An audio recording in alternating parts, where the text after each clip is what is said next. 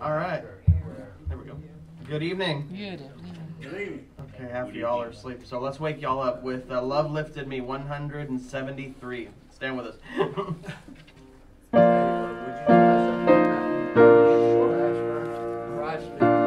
Oh, yeah. On the chorus. oh, okay, sure. Oh, what are we gonna do? Don't you worry about it. Oh. It's on me. there we go. I was sinking deep in sin, far from the peaceful shore. Very deeply stained within, sinking to rise no more. But the master of the sea heard my despairing cry. From the waters lifted me, now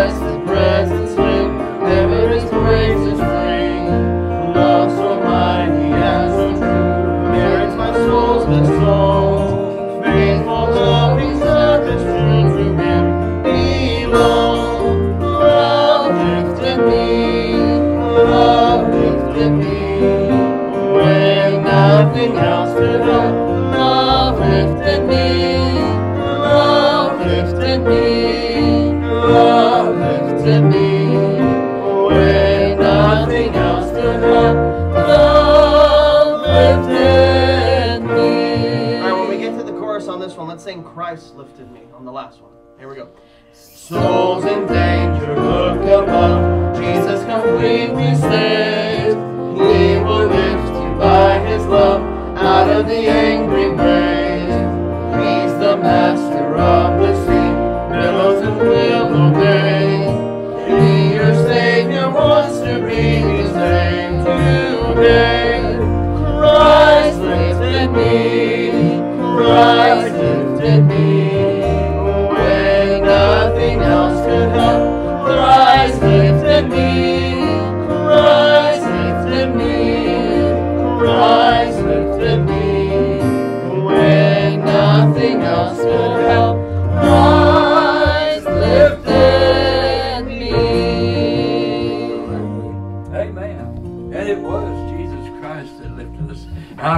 clay and saved our soul. Let's pray.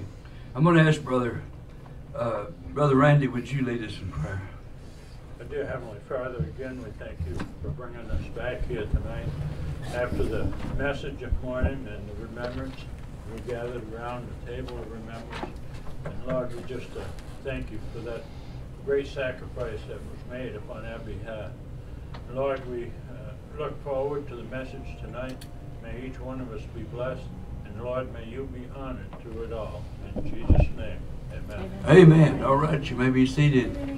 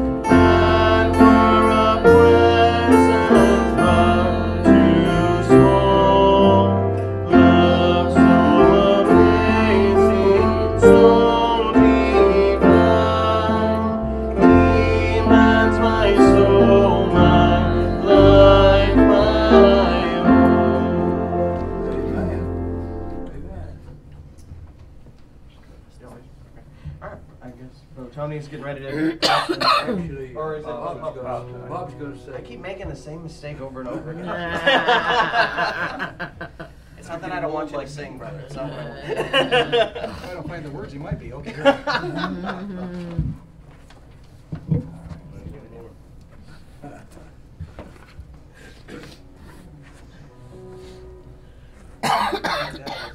He said, bless the Lord, you know, the old saying was, the old southern saying, you know, that, uh, well, bless their hearts. Uh, That means there's no hope for them.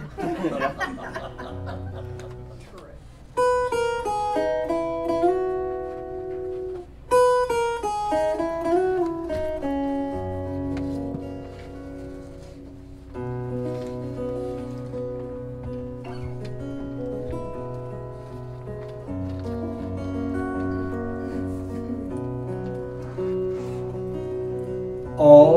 not lost, all is not gone. God, He reigns on His throne. He's keeping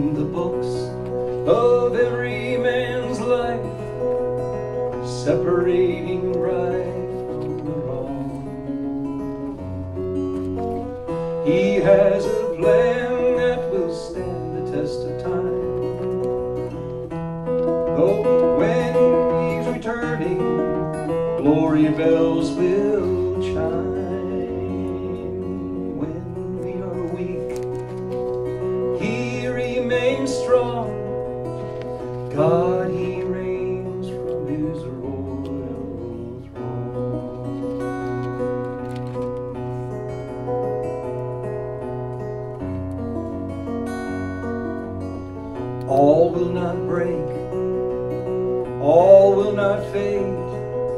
There are greater things he has made.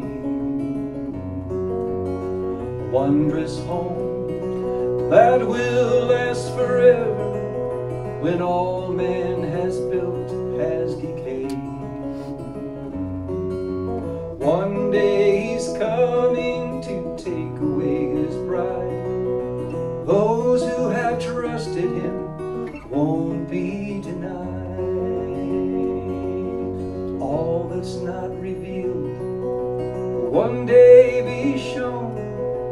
God, he reigns from his royal throne. Just as sure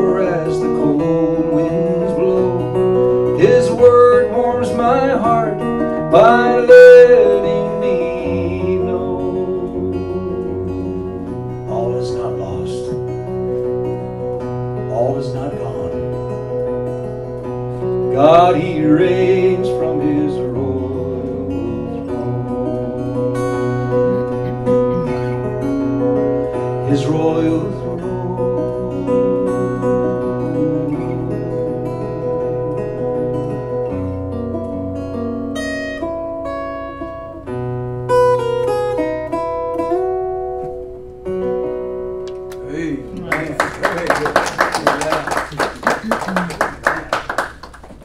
That was good. Thank you. Alright. So, as you can see, there's only one verse there, so we can get home in time for the Super Bowl.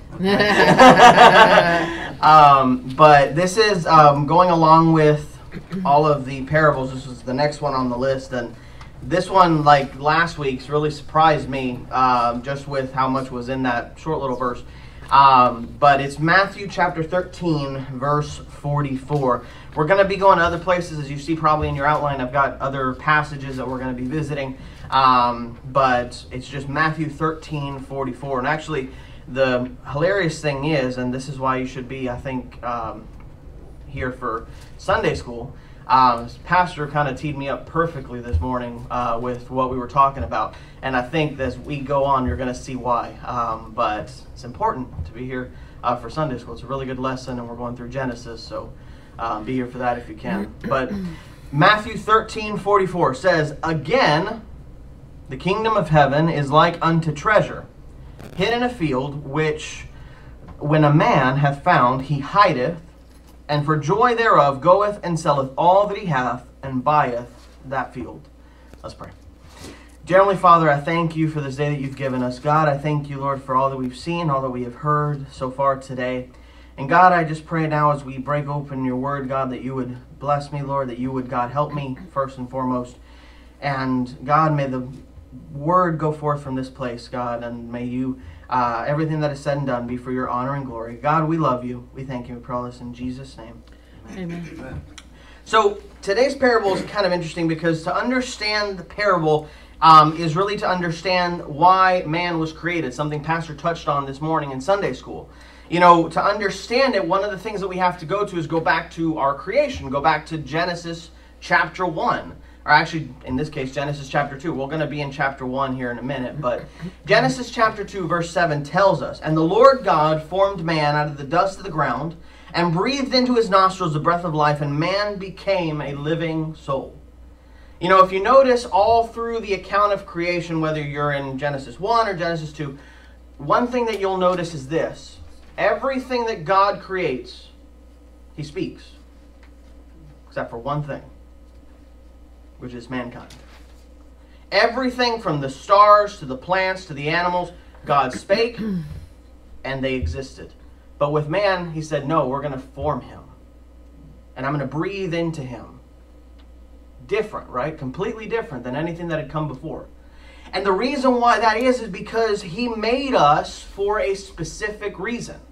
He made us different than the animals. That's why I don't get why people insist on this evolution business where, you know, they say that we evolved from monkeys or from whatever because we're completely different. Not only were are we different, yeah, we might have some similarities to to different animals, but that doesn't mean anything because we were made, created differently than everything else that exists.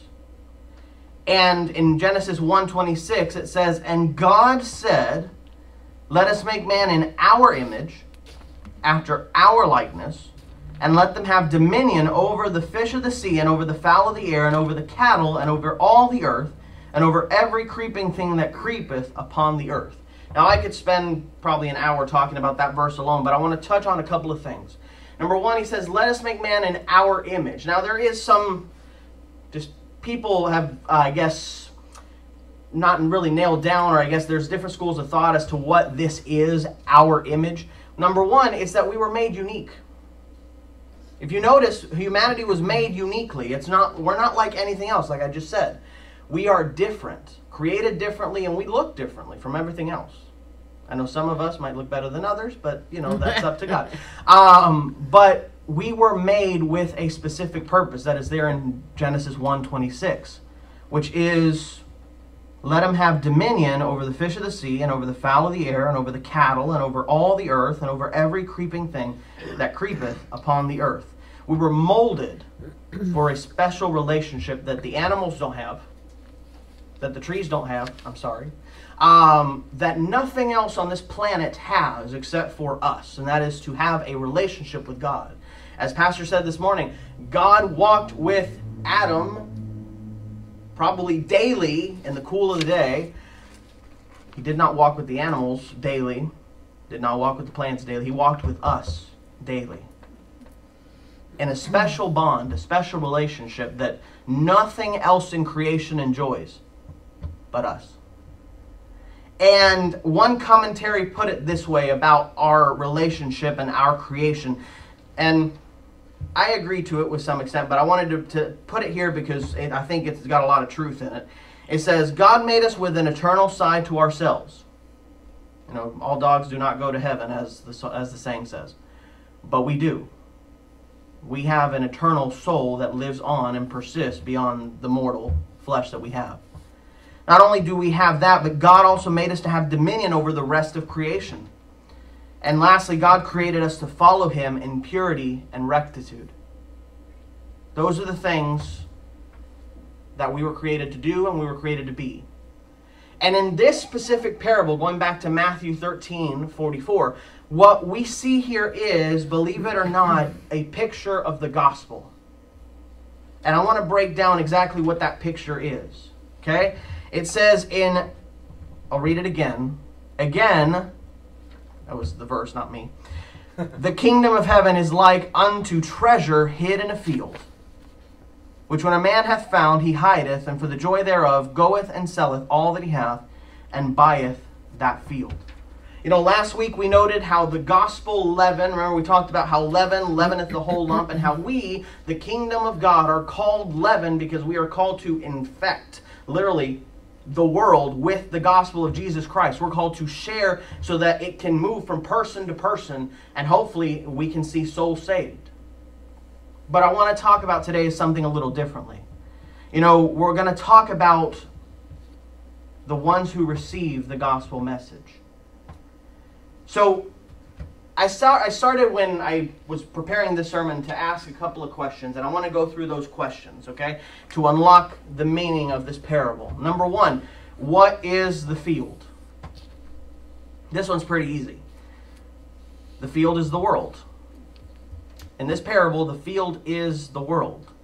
And here's the amazing thing. Remember, God made man and gave man dominion over all of the earth. I'll read Genesis 1:26. Again, it says, "And God said, Let us make man in our image, after our likeness, and let them have dominion over the fish of the sea, and over the fowl of the air, and over the cattle, and over all the earth, and over every creeping thing that creepeth upon the earth." But here's the thing: that dominion that we had was given to us with God's blessing. Adam enjoyed that dominion because he was in the will of mm-hmm. God. And we, because we were made pure, had no need for salvation. Adam was made pure. He hadn't sinned until Genesis chapter 3, right? But when the fall occurred in Genesis chapter 3, two things happened. Number one, we gave away our dominion. Do you understand that? When we fell, one of the things that God said to Adam was, now the work that you're going to do is going to be hard for you. Before the work was going to be easy. But now it's going to be hard because of the sin that you have done.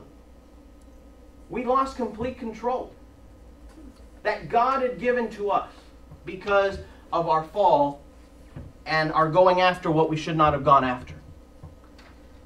You know, Satan, through sin, took possession of the hearts of men, and Satan took his possession. This is the key thing. Satan did not purchase his possession over us, he took it. Unlawfully took it. And we handed it to him.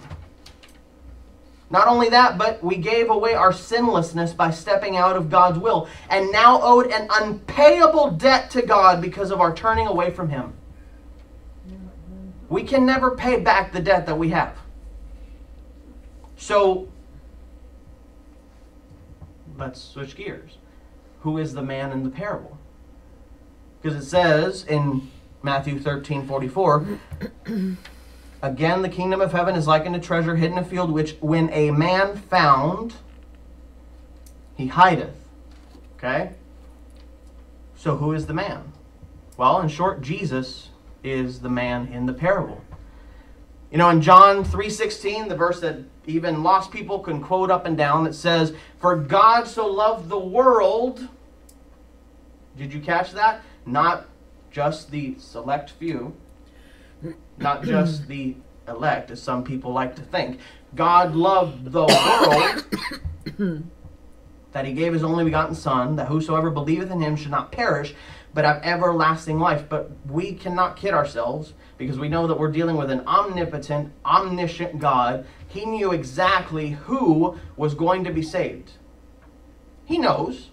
He knows whose names are written in the Lamb's Book of Life. Right. And for the sake of us,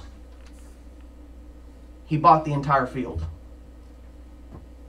For the sake of the treasure hid in the field, which are the people that receive him with gladness, he went and he said, You know what? No, no, no, no, no. I'm going to go buy the entire field. And now, instead of being under the power of sin, all one has to do is receive Christ, and now we are no longer under the dominion of sin, but we are now called sons and daughters of Jesus Christ, sons and daughters of God, through the sacrifice of Jesus Christ. All that was possible because of what Jesus did, something we could never do. You know, he wishes that all of us would be saved. He really does. But he says in Matthew 7 13 and 14, Enter ye at the strait gate. For wide is the gate, and broad is the way that leadeth to destruction, and many there be that go in thereat. But, but because strait is the gate, and narrow is the way which leadeth to life, and few there be that find it. As we talked about yes, uh, last week, not yesterday, last week, a lot of people, a lot of churches that preach uh, uh, what I consider absolute garbage, because as long as you preach anything other than the gospel of Jesus Christ, it is garbage and it is repulsive. They put a little bit of gospel in there and they have misled millions of people. Ton of churches that do that. They give you a little bit of Bible because, you know, all lies have a little bit of truth in it. That's what Satan has been doing since Genesis chapter 3. Little bit of truth to cover up a whole lot of lie. But knowing that there would be those that would believe, he went into the world, died on the cross to purchase our debt that we owed to God Himself. A debt that we could not pay, Jesus Himself paid.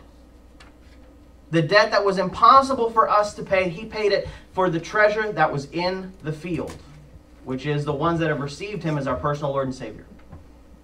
For our sake, because He knew who was going to be saved, He knows who's going to be saved before all this is over. For our sake, He said, you know what? I'm taking the field back.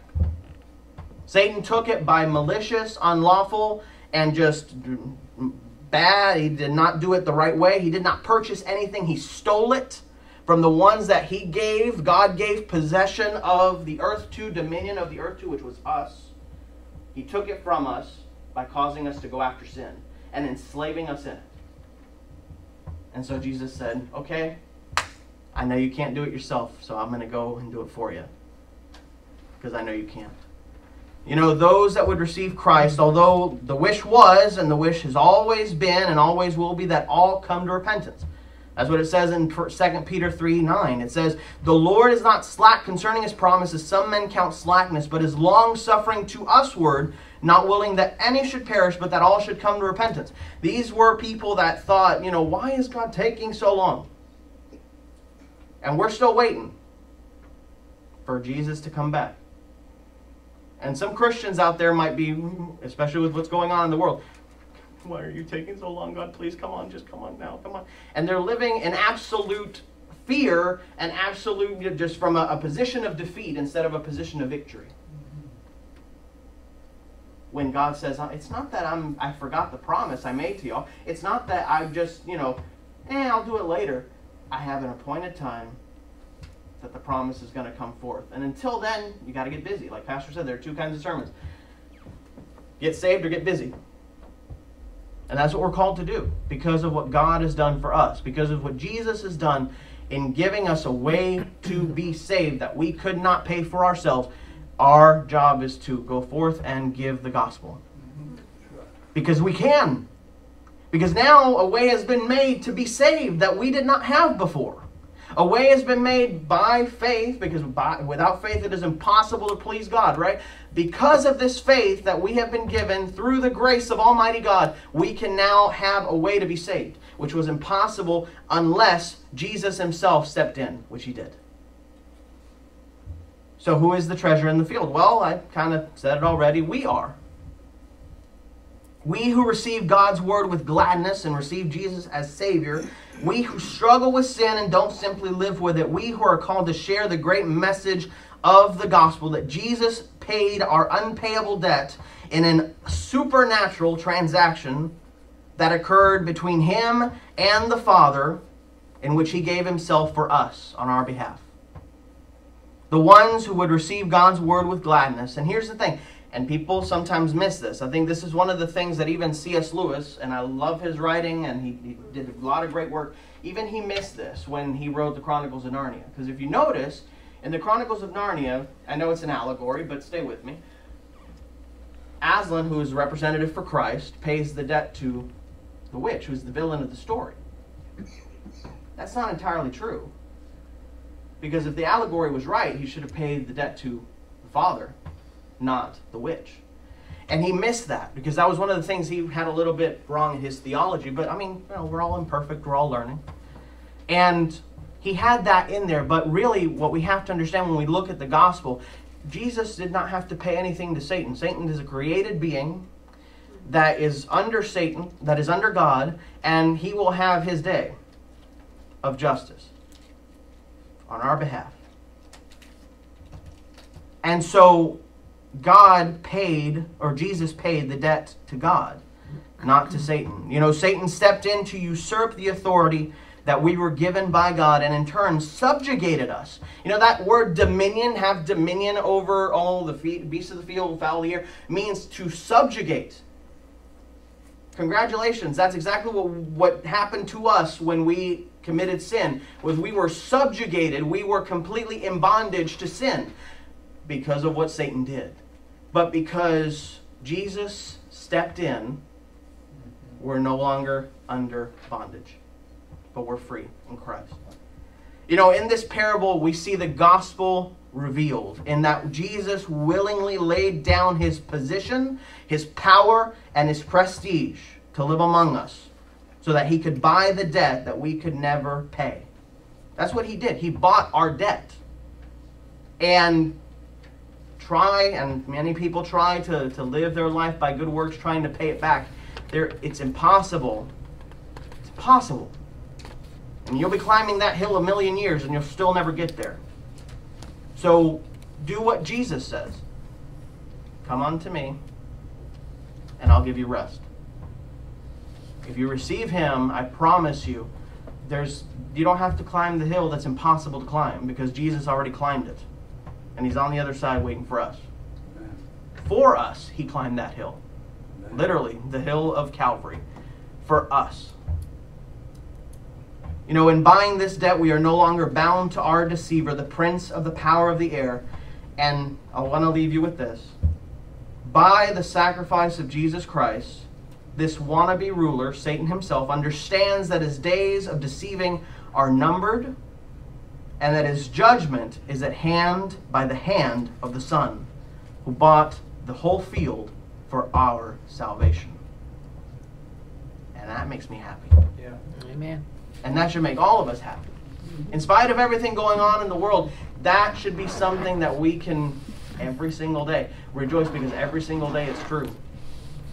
There's not one day that passes if we're in Christ that that does not remain the truth in our lives. That God paid for us a debt that we could not pay. I know sometimes we look at other things and we kind of lose sight of what's important, but always go back to that. You can always be thankful for that. That Jesus paid something that we had no power, no capability, no way in heaven or earth to do, which is pay the unmeasurable sin debt that we had before God.